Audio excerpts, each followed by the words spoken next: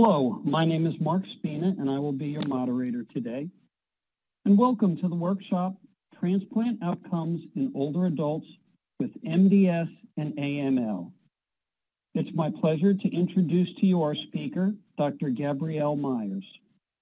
Dr. Meyers is an associate professor at the Center for Hematologic Malignancies at Oregon Health and Science University. Her research focuses on optimizing outcomes for stem cell recipients who have a bone marrow failure disease such as aplastic anemia or myelodysplastic syndrome, and for patients with acute myeloid leukemia. Dr. Meyers is particularly interested in treatment options for older adults, including prevention and management of disease, relapse after transplant, and improving outcomes for patients with graft versus host disease. Now please join me in welcoming Dr. Meyers. Thank you so much for that kind introduction, and I want to also express my appreciation in being allowed to talk with all of you today about transplant outcomes in older adults. Just move to the next. So I wanted to first talk about some goals of this talk. And so I do want to present you information about transplant for both acute myeloid leukemia, or AML, and myelodysplastic syndrome, MDS. And in particular, I'm going to present data regarding the transplant outcomes compared to patients that don't get a transplant and then also talk about quality of life after transplant, which I think is a really important aspect to discuss. We'll talk about response rates, what to expect with transplant in these diseases, and then also talk about treatment before and after transplant. And in particular, treatment after transplant is a growing field. When we think about outcomes with transplant, there are some strategies to talk about that can be helpful for patients. So talking about exercise and nutrition and highlighting that as an important aspect of getting ready for transplant and how patients do after transplant. And then also talking about treatments to help reduce relapse risk. And then here are some key points that I will talk through and, and support through this talk. And so first off, most AML and MDS can only be cured with a transplant. So I think that's a really important reason that we're talking about this today. And in particular, thinking about older adults, I hear all the time patients are concerned that they're too old to get a transplant. And I hope to dispel that myth today allogeneic transplant for older adults is becoming more common. And in particular, as I'll talk about, these are diseases of older adults, and we're now gaining a great amount of experience in transplanting older adults and how to do that well and effectively. There are numerous studies that show that, pardon me, age alone is not a barrier to a successful transplant.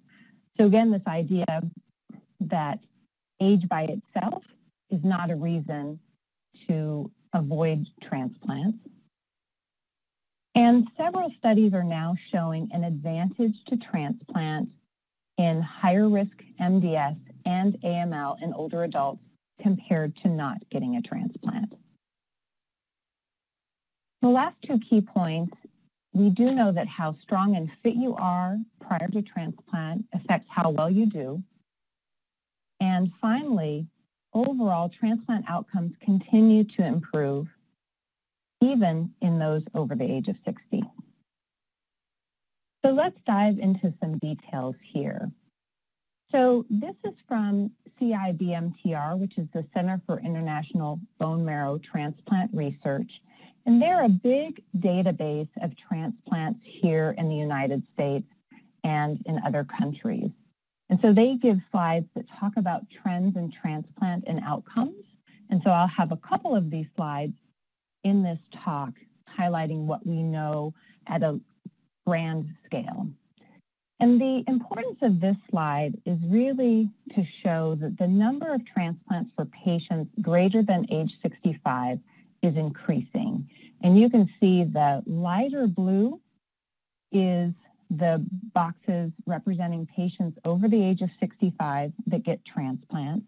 And so one thing that's easy to see is that that percentage of transplants in this older adult population is getting larger. And 2019 is the last data we have, and 26% of all transplants were performed in patients over the age of 65. And then I think the top shows the actual numbers, and you can see that, again, the total number of transplants is increasing as well over time. So overall, both percentage-wise and in actual numbers, we're doing more and more transplants for patients over the age of 65. This slide, also from the CIBMTR, talks about what diseases people get transplants for. And AML and myelodysplastic syndrome are the two top reasons that we do transplants, allogeneic transplants specifically. And you can see this top line, the dark blue, is our AML transplant numbers, and it's a very large proportion of all transplants. And then myelodysplastic syndrome with a little bit of myeloproliferative neoplasms as well is the second line down in the lighter blue. And you can see that number in particular seems to be growing, as is the number for AML. So very important for us to be talking about transplants in these diseases. I wanted to separate out MDS and AML because there is a different approach to transplant in these diseases specifically, although many times when people report their outcomes, they'll cluster MDS and AML together. I did want to start by separating them out and talking about them separately. So we're going to start by talking about MDS and transplant for MDS in particular. So MDS, myelodysplastic syndrome, it's primarily a disease of older adults. And the average age at diagnosis is around 71 years old. MDS is a bone marrow stem cell problem, and the stem cells that are supposed to do the work of making all the different kinds of blood cells. In MDS, those stem cells are damaged, so they don't make blood like they're supposed to. And I kind of talk about MDS stem cells as being workers that are permanently on lunch break because they don't do the work that they're supposed to do. And so I sometimes will call them lazy as well. So MDS is associated with low blood counts, and patients frequently require blood transfusions. Patients with MDS are also at increased risk of bleeding and infections. But also, very importantly, in the old days, we called MDS pre-leukemia because there's a risk of developing into acute myeloid leukemia in particular. And so that name pre-leukemia really made sense. We do have treatments for MDS to make those bone marrow stem cells function better and produce blood cells better, but the damage remains. And the only way to get rid of those damaged stem cells and to potentially cure MDS is with a bone marrow transplant where we put fresh, new, healthy bone marrow cells in that make blood cells like they're supposed to. Now, MDS is really a lot of different kinds of bone marrow failure. And there are a lot of patients that have the diagnosis of MDS, but their diseases may act differently. So we think of MDS as being in two categories, lower risk MDS and higher risk MDS. And the risk means that that risk of turning into leukemia or the risk of having complications related to the MDS.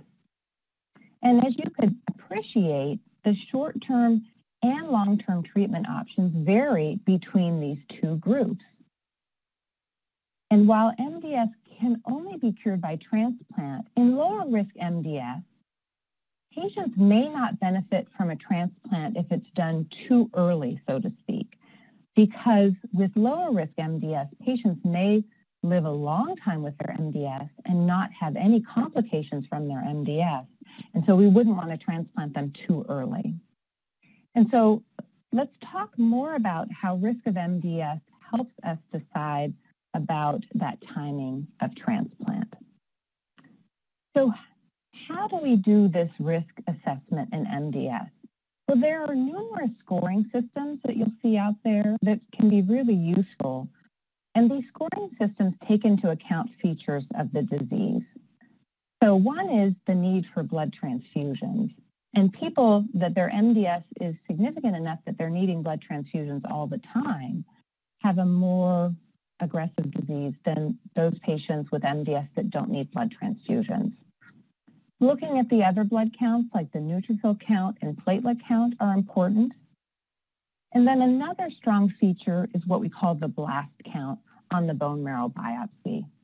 So blasts, many of you probably know this term, but blasts are immature cells that are in the bone marrow and they're not maturing like they're supposed to. And ultimately, blasts are what become those leukemia cells. So if you have a blast count of 20% or higher, then you're automatically in the acute leukemia category. But with MDS, you can have a blast count of 1% all the way up to 19% and still be MDS. So as you can appreciate, if somebody has a blast count of 17%, their disease is much closer to leukemia compared to somebody with a blast count of 2%. So that blast count is a very important feature of assessing one's risk with their MDS. Other features of MDS and AML are things like chromosome changes that are present in the diseases. If there are mutations in genes, these are very important in assessing someone's risk. And then finally, is the MDS responding to treatment? So we have non-transplant treatments we can use for MDS designed to make those bone marrow cells produce blood better, designed to reduce the risk of transforming into leukemia.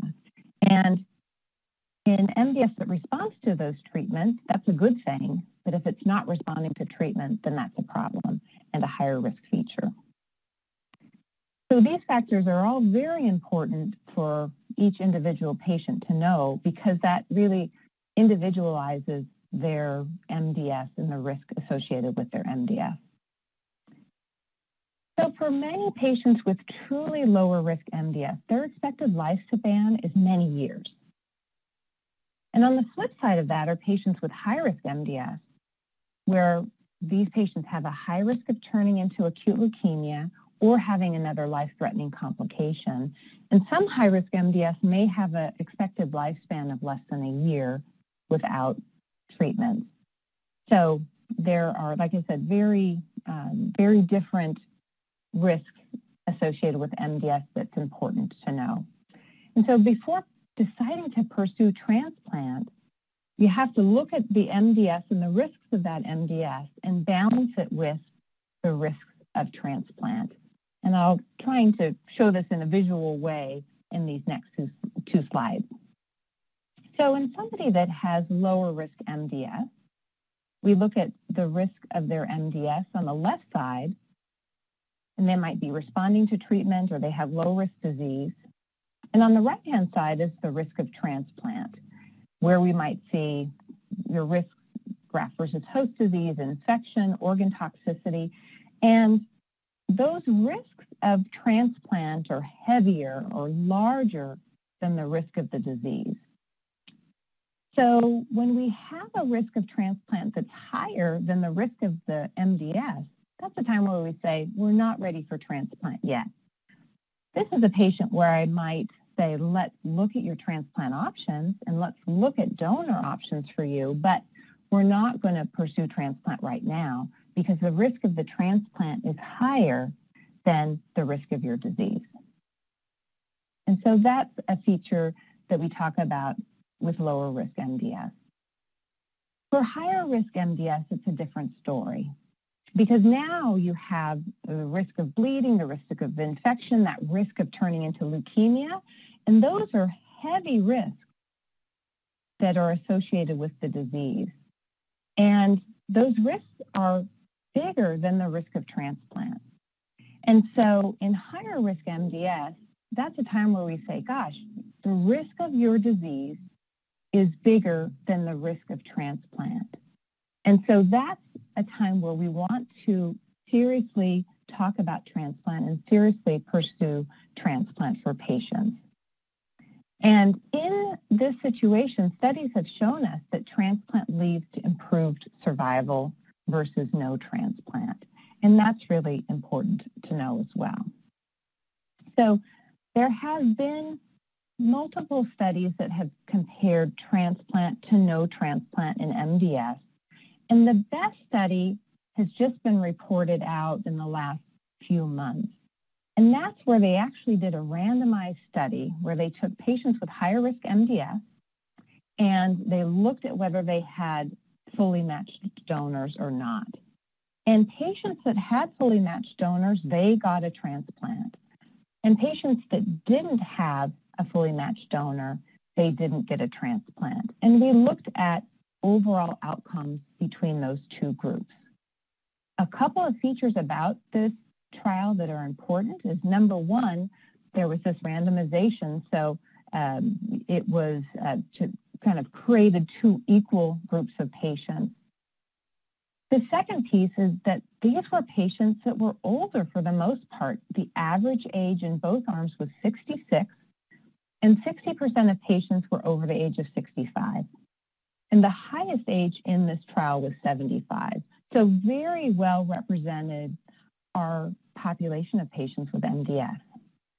When we looked at three-year survival, so how many people were alive at three years, 48% of patients in the transplant arm were alive versus 27% in the no transplant arm. And this, this difference was statistically significant. They did look at other features like quality of life, and there was no difference in quality of life between the two arms. So what we can conclude from this study is all patients with higher risk MDS up to age 75 should be considered for transplant because there is a survival benefit. And this is just a picture showing that overall survival and that black line on top are people that had a donor and went to transplant versus uh, patients that didn't have a donor in the yellow line and didn't go to transplant, and that's how their survival looked. So key points about transplant for MDS. One is that in higher risk MDS, transplant increases survival compared to non-transplant therapy. Quality of life does not appear to be worse in those undergoing transplant. And over time, there may actually be improvement in quality of life. And I'll talk more about quality of life after transplant later on. We do know that relapse can be a problem after transplant for MDS. It also can be a problem after transplant for AML. And so I'll talk some more about that as well. So here's a little break, and this is a cartoon from one of my transplant patients, and he's actually in his 70s and he got transplanted a few years ago. And he, in his retirement and his post-transplant uh, joys in life, he has uh, discovered cartooning. And so uh, he has a website, Martin and Teresa, and they have a lot of um, a lot of cartoons about life. And I like this one. I'm feeling great that Teresa sent along this list of things she wants you to fix. And um, sometimes I feel like as a doctor, I'm trying trying to fix things or sometimes I say, you know, there are, there, there are some things that I can't fix. So let's talk about transplant for AML and some key points right from the get-go. First off is transplant for AML is best performed when patients are in an excellent remission. And remission can be defined as no blasts in that bone marrow biopsy or no abnormal number of blasts in that bone marrow biopsy. But when we look at specific markers for the AML cells, we want to see that we can't find any of those leukemia cells. And that's what we call minimal residual disease. And if that's negative, that's a good factor going into transplant. Oftentimes, when people have AML and they're in that first remission, they say, gosh, I'm feeling good. I'm in remission. Do I have to do this transplant? How about if we just wait for the leukemia to come back and then do a transplant? And the challenge with AML is that it can be difficult to get people into a second remission. So that when people relapse after their first remission, those leukemia cells are smarter, they're harder to get back under control, and we may never be able to get a patient into a second remission and get them to transplant. So it's important factor to think about. And we do know that transplant for AML leads to longer survival rates compared to no transplant. And for many patients, transplant is the only chance of potentially curing their AML. So let's talk about AML in older adults. It is, AML is a disease of older adults. The average age of diagnosis is 68. And like MDS, there are features of the disease that do impact the risk and how, how well we might expect that AML to respond to treatment. Unlike an MDS, over 70% of older AML patients have higher risk disease. So disease that is going to be harder to treat with chemotherapy alone and harder to maintain in remission without a transplant. So most, if, you know, most of the AML we see is higher risk. So therefore, almost every patient over the age of 60 could be considered for transplant if we just focused on their disease. But we know there are many factors beyond disease that impact that decision to consider transplant. And I'm going to try to tease out some of those factors. But let's first start with talking about what are the outcomes for patients with AML who are undergoing a transplant. And so this is a slide from CIBMTR, and it represents over 13,000 transplants for AML and again, this is in the age of 18 uh, or more, and this is from 2008 to 2018. The features here, number one, we see that CR1, so complete remission 1, which is really that first time people achieve remission, we know that transplant outcomes are best at that time point.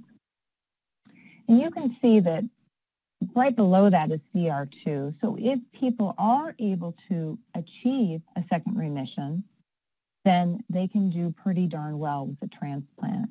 But like we talked about, that can be a challenge in leukemia.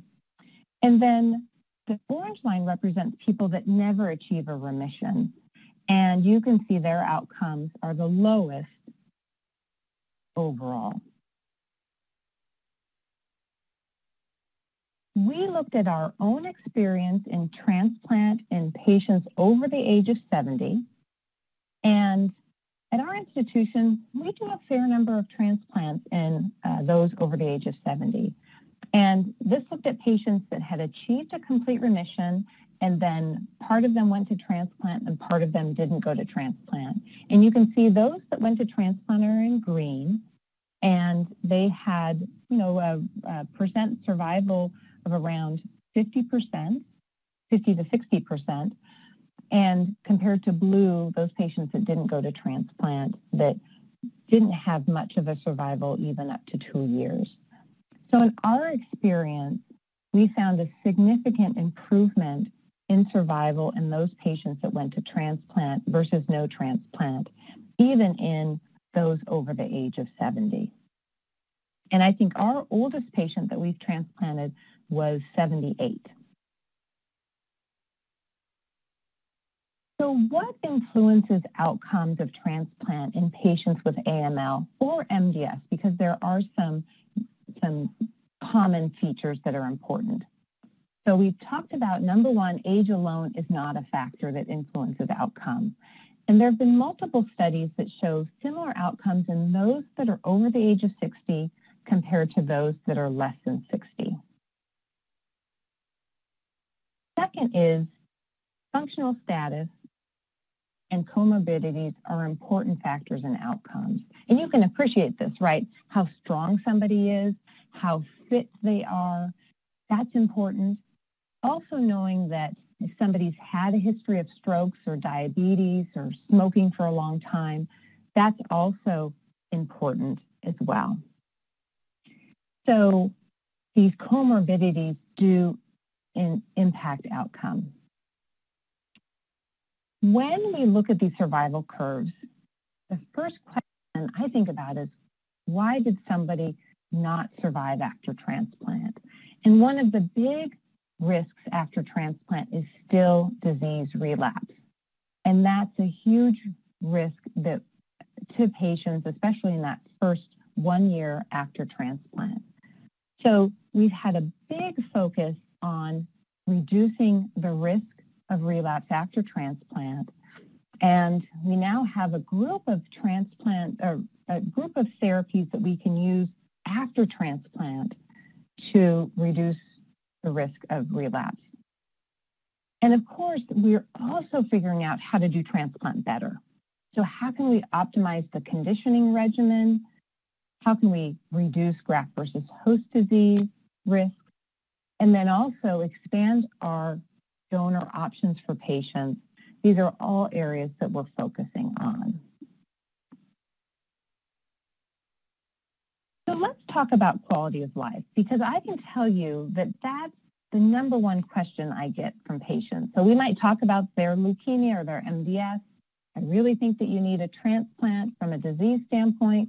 You, you're fit and healthy otherwise. And they say, well, yeah, but how am I going to feel after transplant? Because people want to have quality and be able to do the things that they enjoy doing after transplant. And so that's very important. And in general, when we look at quality of life after transplant, it, transplant it's re- reported as good.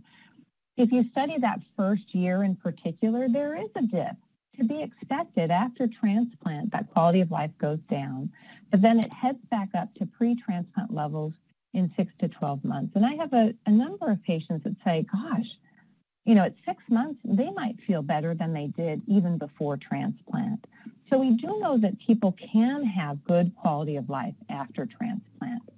Does everyone? Unfortunately not, because there are factors that we know impact quality of life.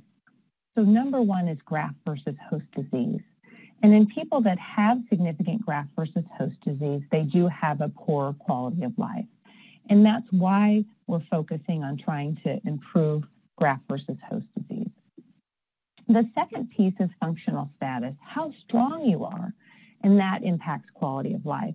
So as you can appreciate, if somebody is not very strong going into transplant, and then you lose some strength from the transplant, that's a big road of recovery that you have to struggle through. And of course, that impacts quality of life. Impacts on ability to work and financial security decrease quality of life.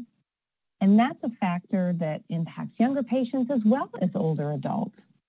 And, um, and really important features that patients and I talk about all the time. So what are the factors that we can control or potentially control? So one is functional status. And how can we improve functional status? Well, number one right on top is exercise.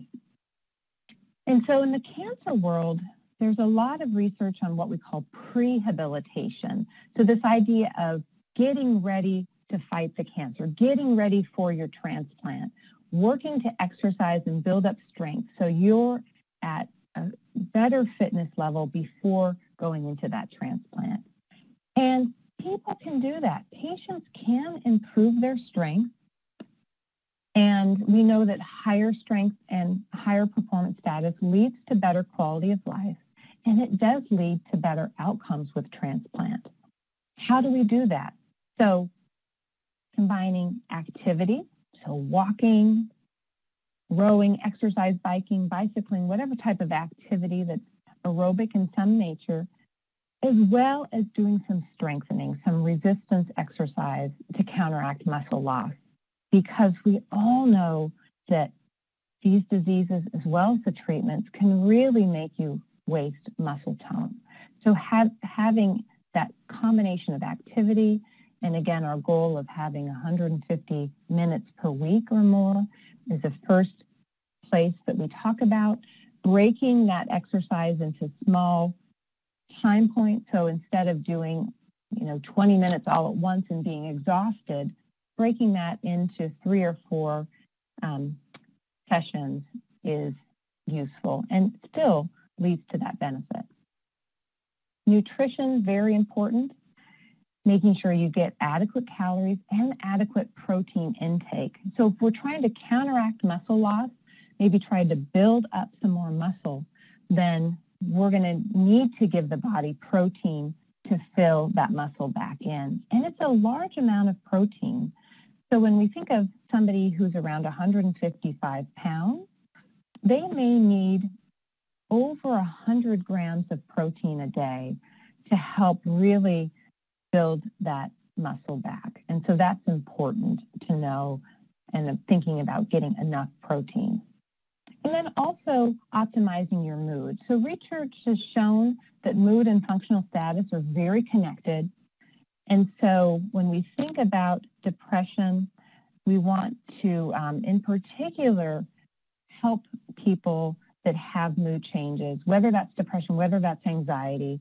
Um, we know that managing that along with uh, exercise and nutrition program, patients that have depression benefited the most from a structured prehab program.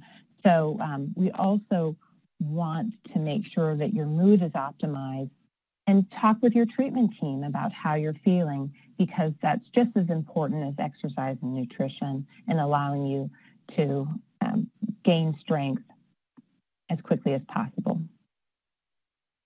The disease control before and after transplant. So we talked a little bit early on about this idea of minimal residual disease. And before transplant, ideally that blast count in MDS would be less than 5%, and ideally in AML, we'd have no minimal residual disease. We do know that if you don't get to that level, we can still do a transplant successfully, but we have to really watch closely for relapse and be on top of it. Best treatment for AML includes intensive chemotherapy. And we do know that patients over the age of 60 can tolerate the same type of therapy that we give to 40-year-olds or 20-year-olds. With transplant, we do have a mixture of different intensities of treatment that we can use. And so oftentimes in our older adults, we'll think about using reduced intensity chemotherapy to reduce toxicity and complications. But on the flip side, we do see a higher risk of relapse when we reduce the chemotherapy before transplant. So we take uh, each patient I see, I take into, into account the features of their disease, how strong they are, what their pre-transplant testing looks like, and I want to give them as much chemotherapy as possible to help control their disease, but balance that with enough that um, I'm not overdoing it and causing excess toxicity. So um, it can be a balance for each patient and trying to optimize that condition regimen, pardon me, becomes very important. After transplant, we have to stay watchful for relapse. We do have treatment options to help control disease without harming the graft. Because remember, we want that graft versus leukemia activity with transplant. And the use of agents, in particular azacitidine, decitabine, or targeted agent after transplant for both MDS and AML has been shown to be well tolerated, although the doses are reduced compared to what we used before transplant. And these treatments also have been shown to reduce relapse.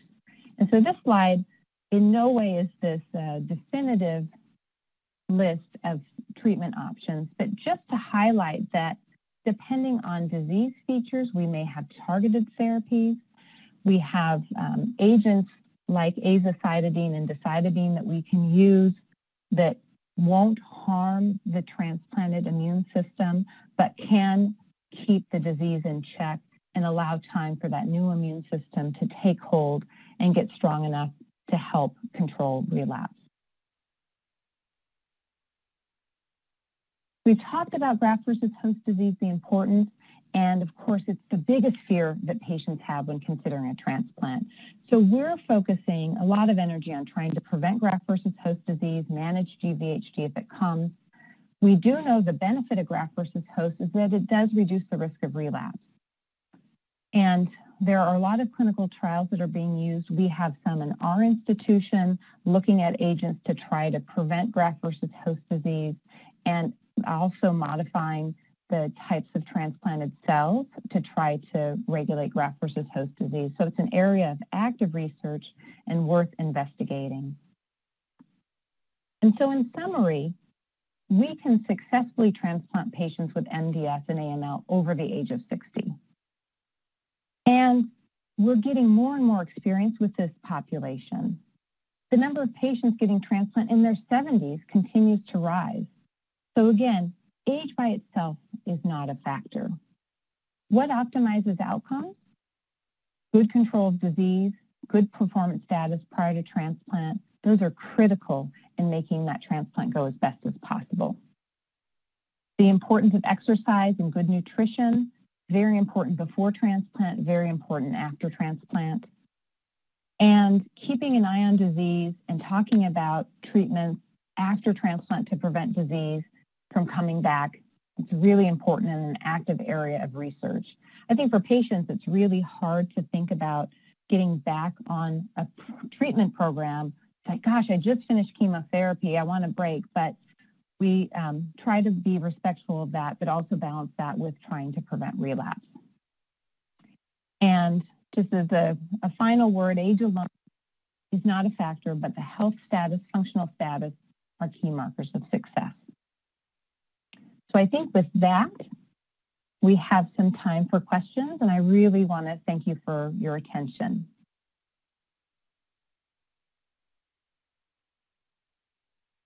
Thank you, Dr. Meyers. That was an excellent presentation.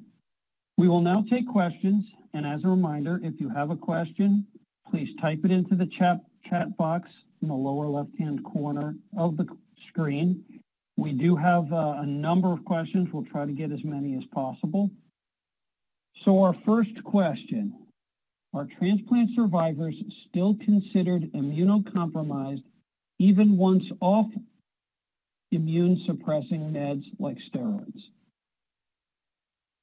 I think that's an excellent question, especially in this day and age. Uh, there are a number of features that do impact the quality of the immune system after transplant. And one of them is not only the drugs that you were exposed to, but also for how long. So I have some patients that may have had a short course of steroids, and if we look at their immune system after they're off the steroids, their immune system may recover to near full. And I do have patients that were on steroids for a long time and their immune system has not recovered even years after being off steroids. So there are a number of features that do impact an individual's quality of their immune system. And um, there, are, there are tests that we can do to try to understand that. Great. The next question, what is considered a cured AML patient? And when considered cured, is there still a risk of relapse? So that's an excellent question. The first year to year and a half after transplant is the highest risk period for relapse to occur. And so as we hit that one year point, we're very excited. As we hit the one and a half year point, we're even more excited. Two years, great. But we do know that even after that point, it's under 5% of patients, but we unfortunately can see later relapses that occur after transplant. So that first year to year and a half is a key time period where most of our relapses will occur if they're going to occur. But unfortunately, leukemia can be sneaky and it can come back even after two, three, five plus years post-transplant. But it's very uncommon to occur that late.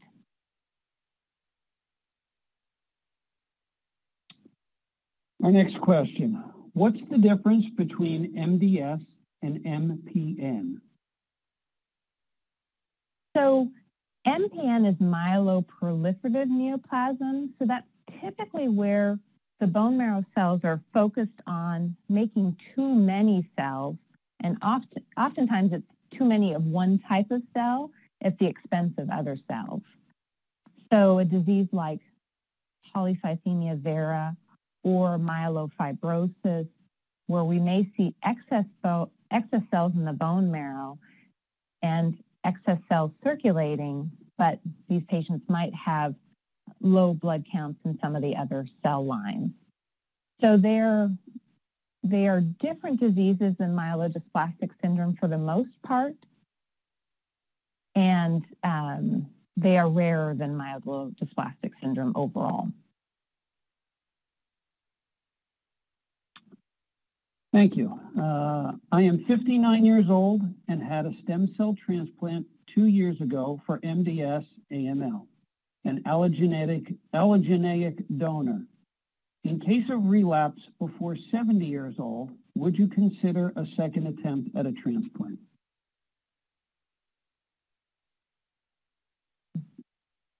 So if somebody has relapsed after transplant, there usually are a couple of treatments that we pursue. One is that we first want to get that disease back into remission. The second piece is that we know we need to get some more immune system activity to keep that disease in remission. And sometimes that involves a boost where we'll actually give more cells from the original donor and sometimes it involves having a whole second transplant. So there are a number of features that help us decide which would be best for an individual patient, but it doesn't always have to be a second transplant. Sometimes we can, we can boost the first transplant successfully.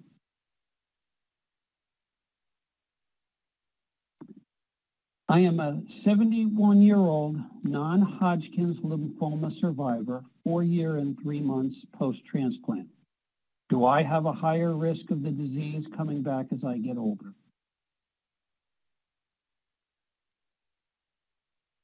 Well, because you're so far out from transplant, I would say that your risk of the disease coming back gets lower over time. And I'm happy for you being at this time point after transplant.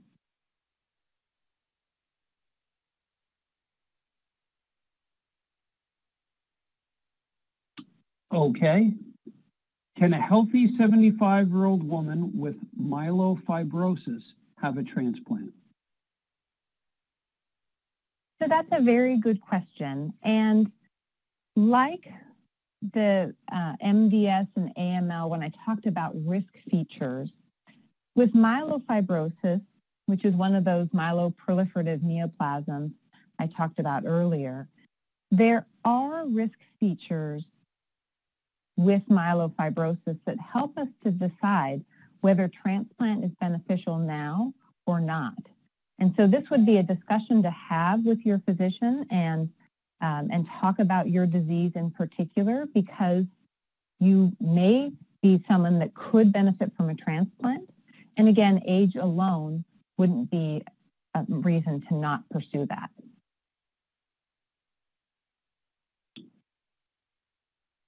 Okay. What is the data to support the use of maintenance therapy in MDS after transplant? That's a very good question, and this is an evolving field because um, we're just starting to learn the right doses of these agents, and there are um, agents that we're kind of expanding our knowledge of, of understanding how they can help reduce relapse. For patients that haven't had drugs like azacitidine or decitabine before transplant, we know that um, there are some studies that are coming out looking at those that get those drugs after transplant, have a, um, evidence of reduced relapse, but it's a, a growing field because we're just gaining more and more experience. So some of the literature that's out there is smaller trials right now.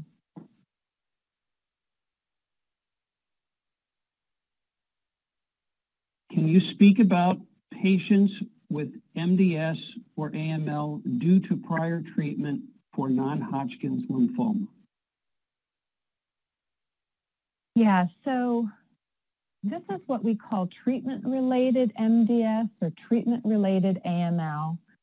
And that is a high-risk type of MDS or AML because it came out of being exposed to chemotherapy, so it's harder to kill with chemotherapy.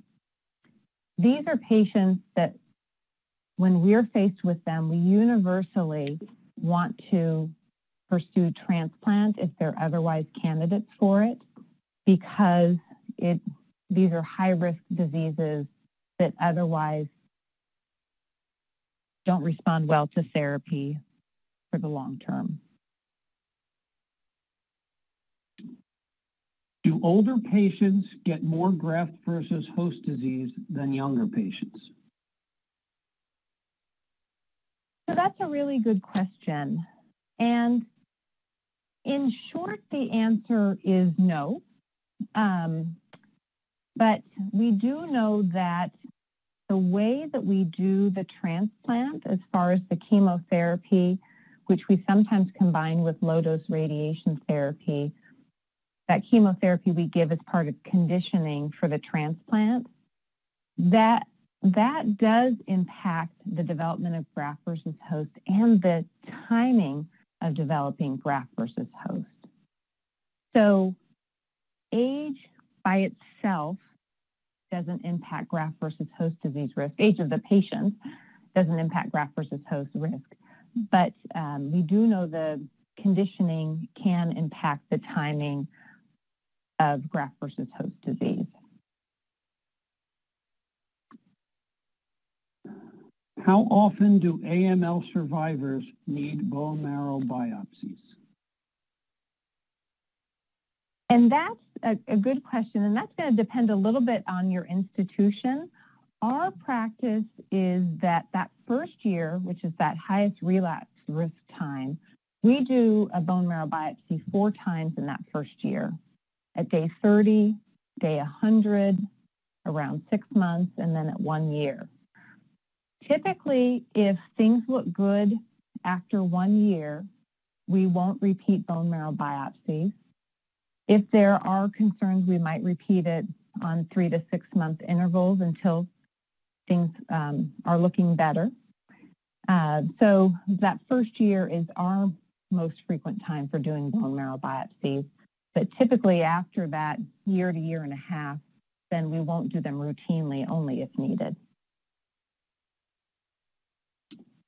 Do you use hypomethylating agents prophylactically after transplant or only after you see evidence of MRD? So in patients that have disease that's very high risk for relapse, we are using hypomethylating agents even if they don't have any MRD after transplant. So in some of our patients that have high-risk features that even with them being negative on those post-transplant bone marrow biopsies, we'll still talk and um, consider hypomethylating agents to do what we can to reduce relapse because their relapse risk is so high otherwise.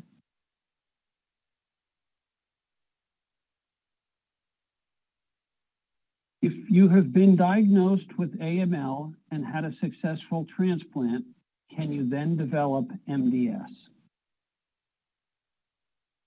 So that's a very good question, and typically the answer is no. Um, there is a very rare type of MDS that people can get after transplant where it's actually an MDS from the donor. And the donor cells develop MDS because of the stress of, of being a donor. But that is something I would not worry about. It's very uncommon. But otherwise, if somebody has a transplant for AML, then they don't get a new MDS after transplant. I have had patients, and this is just a couple of patients in my um, kind of hundreds of patients experience um, where uh, we they had uh, an AML was how they presented, and we didn't discover that they had an underlying MDS until we saw it start to come back after transplant. So that can be the time where that where uh, a kind of a hidden MDS may present itself after transplant. But again, that's very rare overall. What is the role of CAR T for relapse of AML following transplant? So that's a great question. And um, the CAR T world is starting to move into diseases like AML. And so right now I don't have an answer because the CAR T world um, and treatment world is, is kind of in its infancy for AML and post-transplant management. But very exciting, and I'm very hopeful that we will have a lot of different uses for CAR T for AML before and after transplant. Have there been any studies or anecdotal evidence on the role of primarily plant-based diet to help with outcomes and preventing relapse? So that's an excellent question. And I have not seen any data about this specific to relapse, but this is something that really is being studied and looked at in a variety of places. Um, we do know that there are health benefits to a primarily plant-based diet. And so I think that, you know, we also know that diet impacts our bacteria in our intestinal tract. That's going to impact that new immune system in the, transplant, in the setting of transplant. So this is an area that's ripe for research, and I hope that we'll start to see some studies about this but we don't have any yet that I know of. We're coming towards the end of our session here, but we'll try to get one or two more in quickly. Can you comment on clinical trials? When should I look into one? I am a big fan of clinical trials because many clinical trials are designed to either give you what we know works or give you something that might be better. So I think that clinical trials can be a real benefit to patients. And we try to have a clinical trial available for every patient that's going through this process, whether it's at their diagnosis, at the time that they need treatment, at the time of transplant. So I'm a big fan of clinical trials, and it's an area that um, we're really trying to focus on getting patients that are older on clinical trials because that's a population that's not well represented in clinical trials currently. And we'll take one last question. What about reduced intensity transplants? Can you explain what they are and should I do that instead of a regular transplant? So again, a very good question.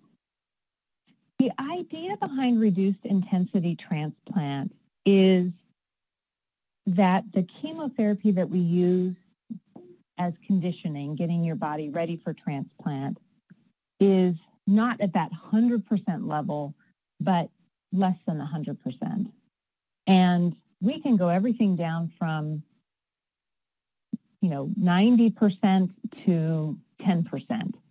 It's fascinating that it actually takes very little chemotherapy and radiation to make a transplant work, but in the setting of using very low intensity chemotherapy and radiation for transplant, your problem is disease coming back. So you have to balance getting enough chemotherapy to make the transplant work, enough chemotherapy to control the disease, but trying to not give too much to cause toxicity to the body.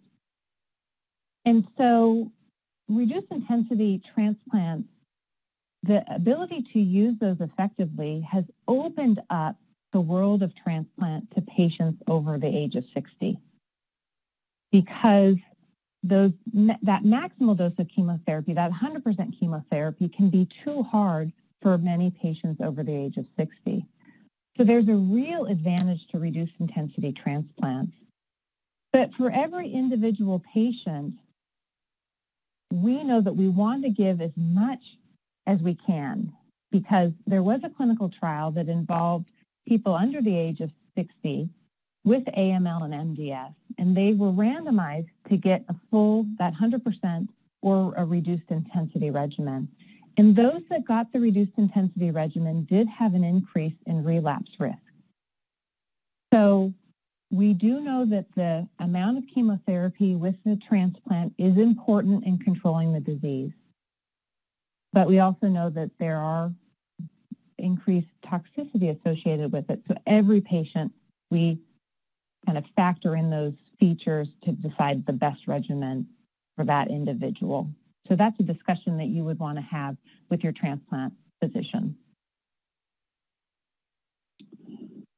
On behalf of BMT InfoNet and our partners, thank you, Dr. Meyers, for your very helpful remarks, and thank you, the audience, for your excellent questions.